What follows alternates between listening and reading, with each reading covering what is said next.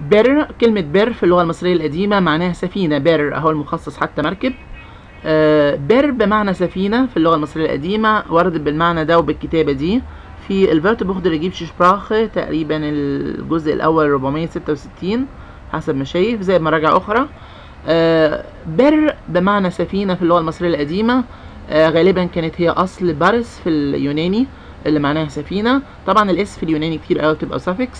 وعندي كلمات أوروبية barca في الإيطالي آه، barco في الأسباني آه، buque في الأسباني آه، barque في الفرنساوي آه، barge في الإنجليزي وطبعا بالإبدال نوصل ل nave آه، في الأسباني آه، nave في الإيطالي و navire في الفرنساوي.